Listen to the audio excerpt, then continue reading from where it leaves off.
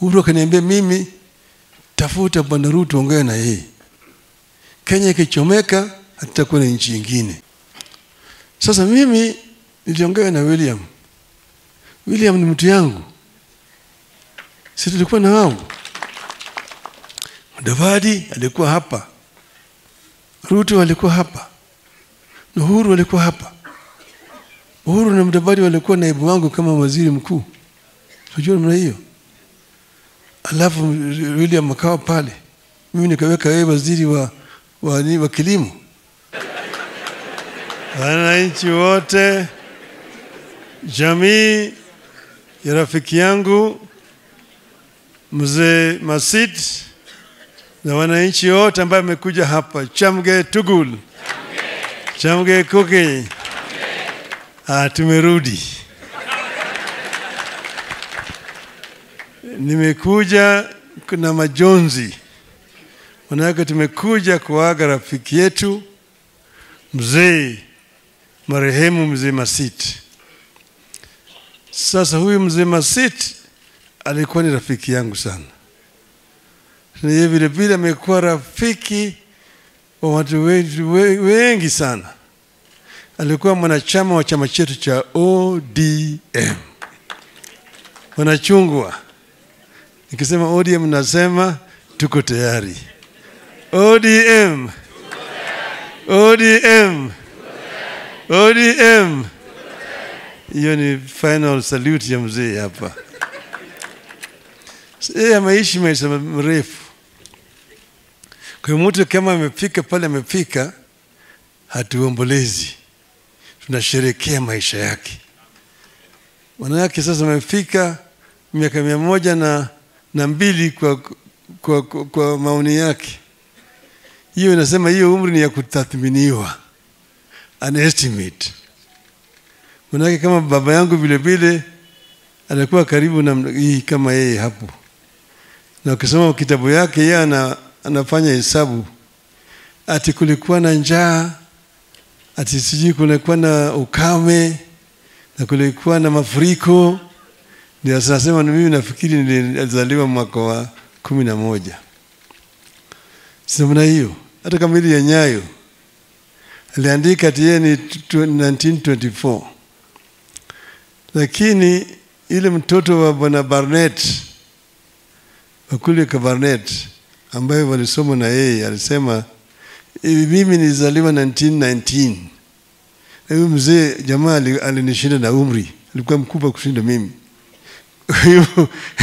Kwa hivyo yeye ni estimate, lakini hiyo yote pamoja ni tunasema tunasherekea. Pili, yeye vile vile alijaliwa sana na Mwenyezi Mungu, amezaa hapo watoto timu mbili ya mpira. Na, na spare tatu. Reserves tatu. Si amefanya kazi, si amejenga taifa, ama sivyo? Kwa sisi tunashukuru maisha yake, nasherekea maisha yake. Yeye alikuwa ni mtu ambaye alikuwa anapenda watu, anapenda eh, wananchi kwa jumla, ana mtu wa raha, hana chuki yoyote. Kwa hivyo tunaombea yeye, Mwenyezi Mungu amweke yeye mahali pema peponi, sio? Pili, naleta risala ya rambirambi kutoka mtoto yake Irene Masit. Nimeongea na Irene kwa kirefu sana jana, lakini tumekuwa kila mara kwa mara tunaongea na yeye. Sasa akaniambia mimi yeye hawezi kufika, lakini nimwambia jamii yake ya kwamba ako na nyinyi wakati hii ya majonzi. Angependa sana kukuwa hapa siku ya leo, lakini mnajua kwa sababu gani. Sasa kule yeye iko, najua yeye yuko salama, lakini akaniambia mimi maneno mawili ambayo mimi nitaje hapa. Anasema mzee alikuwa na afya nzuri, umri yake vilevile imekuwa, lakini kulikuwa mambo mawili ambaye ilimuudhi yeye sana. Ya kwanza ni hali yake ya Irene, vile yeye alitoroka hapa, ati yeye sasa, yeye alichukuliwa kama kama msaliti, alikuwa na windwa, ndiye akatoroka akaenda huko ng'ambo. Sasa makosa yake ilikuwa ni nini? Manake yeye alikuwa kama ile commissioner na walikuwa watu saba, so walikuwa watu saba. Sasa wakagawanyika wakati wa kutangaza matokeo, watatu pande hii, wanne pande hii. Arin na wenzake walikuwa wanne, wengine walikuwa watatu. Kwa hesabu ile ya, ya Kerry Francis, najua nne ni kubwa kushinda tatu. Lakini hesabu ya Wakenya mara hii tatu imeshinda nne. Ikasemekana ati hao watatu ni wanasema ukweli, hao wanne wanasema uongo. Mpaka sasa wanakuwa wasaliti, wanarushwa. Hiyo ni demokrasia ya Kiafrika, demokrasia ya Kenya. Mimi nasheka tu, mimi nimeona haya yamefanyika. Waswahili wanasema ati yaliyopita si ndwele, tokanga yaliyomo na lakini Irene, hata juzi wakati tuliweka ile, ile kamati ya NADCO waliongea kwa runinga wakiwa kule upande ile kule Amerika, yeye na yule nani mama mwingine mwingine Cherera, they were called Cherera 4 na hata nani huyu um, nani eh, Nyagaya. Wako kule Amerika, mwenzao wengine mbori iko hapa, na walitoa ushahidi ya kutosha, wakasema yale ambayo yalifanyika. Manake sasa sisi tunataka kufagia. Waswahili wanasema yaliyopita si ndwele, na wakasema yote vile yao walikuwa najua. Najua mwaka jana tulikuwa tunapiga maandamano, tunasema sava ifunguliwe, sava ifunguliwe. Manake msema kweli ni nini?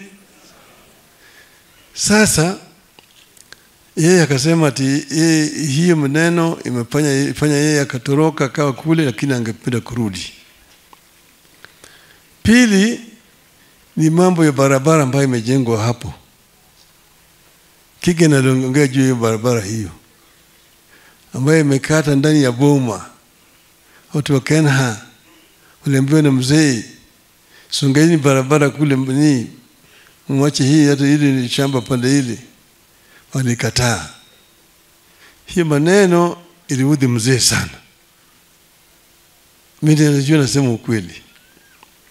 Sasa hiyo ni moja ya vitu ambayo imesababisha mambo yake, lakini sasa kaniambia mimi niseme hayo ni mambo mawili tu. Hiyo nasema sio kwa sababu mimi nilikuwa najua, lakini nasema manake Waswahili husema ati ukweli ikidhihiri, uongo hujitenga. Sawa sawa. Sasa tuko pamoja hapa, yale ilipita Kenya mpaka iendelee mbele. Sasa juzi umeongea sana hapa juu ya mambo ya Gen Z. Gen Z ni wa Kenya kama sisi. Unajua mwaka jana sisi ndio tulikuwa kwa, kwa, kwa, kwa barabara. Yale maneno tulikuwa tunaongea juu yake ndio Gen Z wametaja, hakuna kitu tofauti. Z si wazimu, msilaumu. Gen Z ni wazalendo wa Kenya, wanaongea ukweli. Yale walisema, maneno ya kwanza, gharama ya maisha imepanda sana, gharama ya maisha imekuwa juu zaidi. Sasa punda amechoka, ametwika mzigo mpaka punda sasa hawezi kutembea, ameanguka, sio? Pili, wakaangalia mambo ukosefu ya kazi kwa vijana. Vijana wengi wamesoma, wana masheti ya masomo, wanatafuta kazi, hakuna kazi, wako tu pale, kazi ya chokora ndio nafanya. Tatu, wakaangalia mambo ya ufisadi. Ufisadi imezidi, jamaa anawekwa pale membamba kama sindano, lakini baada ya miezi tatu nne hivi amefura kama kupe.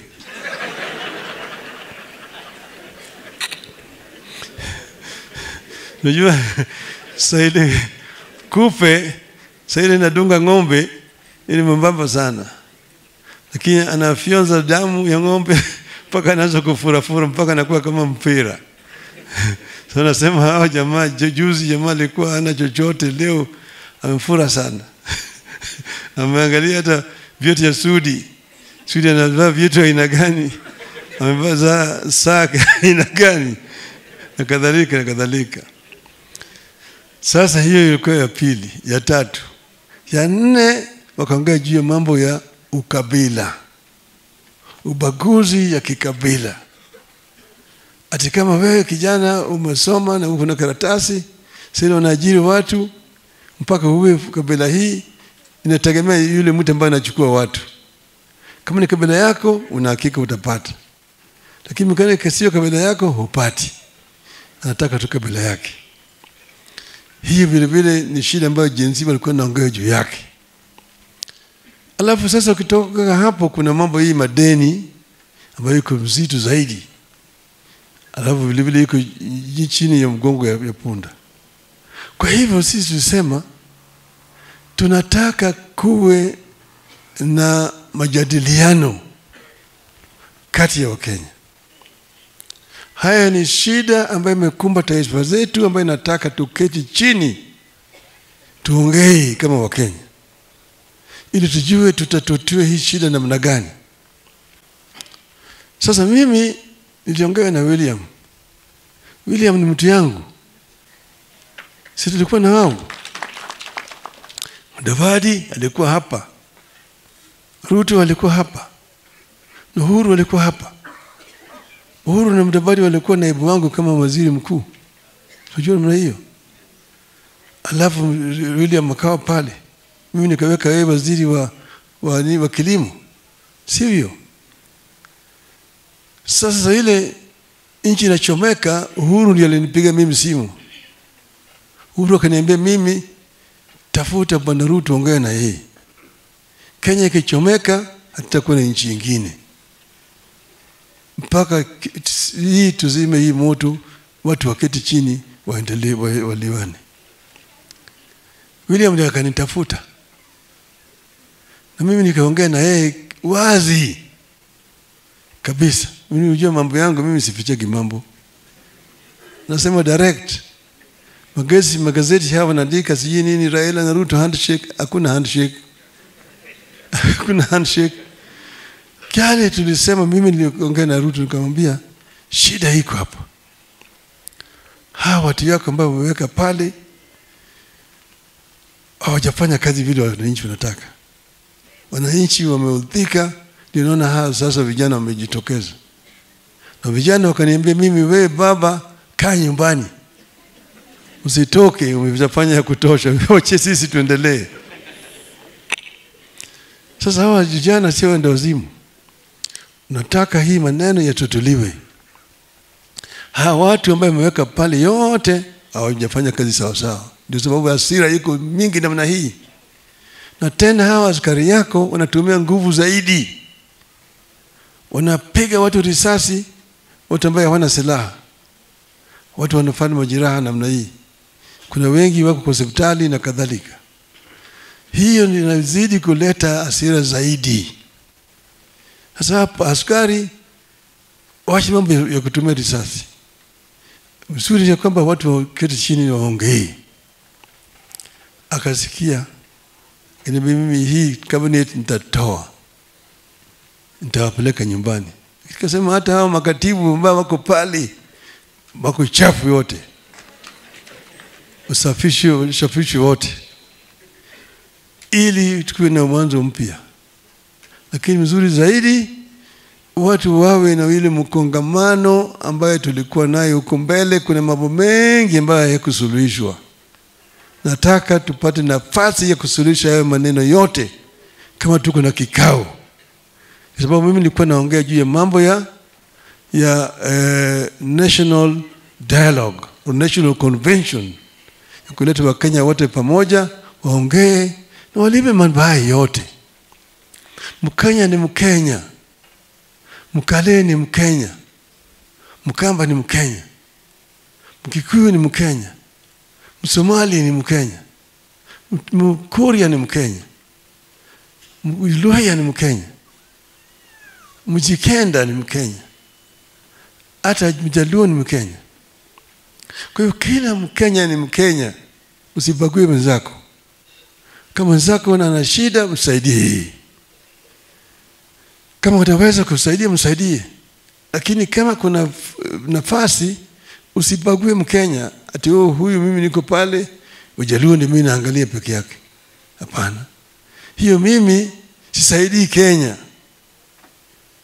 sisaidii Kenya. Niangalie Wakenya wote wawe kama kitu kimoja. Hiyo ndio Kenya inaweza kuendelea mbele. Pili, wakina mama wa Kenya tuwasaidie, wapate nafasi. Juzi mpaka jana nilikuwa Rwanda. Ukienda Rwanda utaona maana ya kuinua kina mama wawe juu. Oh, kina mama wa Rwanda wanaotembea na madaha, wanatembea kazi wanafanya kama wanaume. Hapa wanaume ndio wanakuja makaratasi, nikiweke hiyo pande hii pande hii. Wamama vilevile wako na wamesoma. Tatu, vilevile vijana, watoto. Wakati huu naona mimi sijaingia kwa serikali, hatukukubaliana na Ruto ati na serikali mseto. Hatuna mseto, we don't have a coalition government. Alikuwa nataka watu, nikamwambia watu, chukua hawa watu kama unataka wakusaidie, lakini sisi hatujawekana, ni bado hatujawekana huko. Sasa wazee ndio wanaletea mimi makaratasi, tafuweke mimi mahali mzee, nasema niweke mjukuu yako au mtoto yako. Wakiwa na watoto ambayo wamesoma, au watoto wanataka kazi, baba vile vile anataka kazi. Mtu kama mimi sasa niende kutafuta kazi, kazi gani? Nitaandikwa waajiriwa kazi gani? Mimi watoto yangu ni wanafanya kazi. Sasa watu wa rika yangu wanakuja kwangu ati niwatafutie kazi. Pumbavu sana.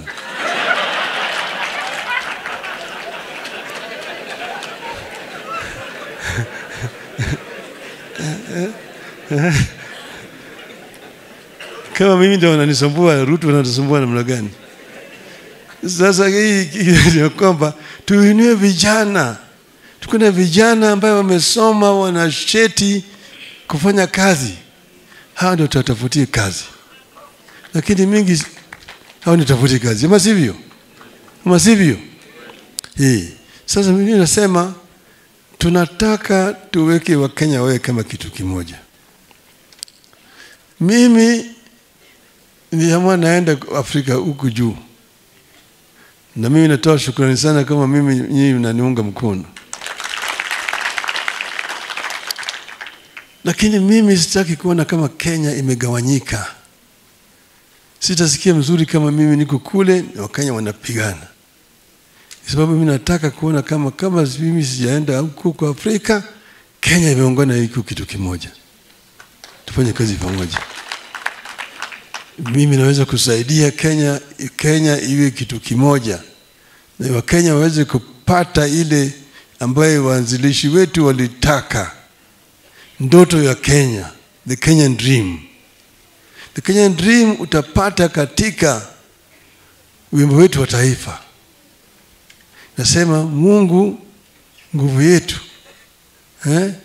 Bariki nchi yetu ya Kenya, haki iwe ngao na mlinzi, tukae na undugu, amani na uhuru, raha tupate na ustawi. Hiyo the Kenya dream. Mungu ni nchi ambayo watu wanamcha Mungu. Mungu nguvu yetu. Bariki nchi yetu ya Kenya, haki iwe ngao na mlinzi. Haki inakuwa ngao na mlinzi kama kuna demokrasia, ndio haki inakuwa kwanga na mlinzi, ambaye Sudi anaweza kufanya chochote bila nataka, anaweza kutafuta kazi apate kazi anaweza kufanya maandamano kama nataka, afanye tu mradi tu asiribu mali ya watu wengine sawa sawa eh? alafu sasa tusikae na undugu amani na uhuru. undugu ni ya kwamba sisi tunakuwa tunaungana pamoja hakuna ubaguzi ya kikabila hakuna ubaguzi ya kijinsia hakuna ubaguzi kwa upande ya kazi. Hiyo ndio sema haki eh, eh, tu- tuungane pamoja. Lakini mwisho raha tupate na ustawi raha unapata tu kama wewe uko na furaha una chakula ya kutosha una kazi na kadhalika. Mtu ambaye ana njaa ana hasira hana raha manake alilala na njaa. Kwa hivyo ni nchi pale ambaye watu wote wanaweza kuna mtu analala na njaa. Kila mtu akitafuta kazi anapata. Nchi ambayo imeendelea kiuchumi lakini hiyo sasa mpaka sisi tuwe na fursa ya kutengeneza mali katika taifa letu. Hiyo ndio tunataka. Hiyo ndio kenya tunataka. Na hiyo ndio waanzilishi wa taifa letu walikuwa wanataka kenya yetu. Kwa hiyo mimi nasema tiko pamoja na nyinyi kama wakenya na mimi nasema rafiki yetu amelala lakini tunasema tunaomba Mwenyezi mungu aweke moyo yake pale pema peponi. Kongoi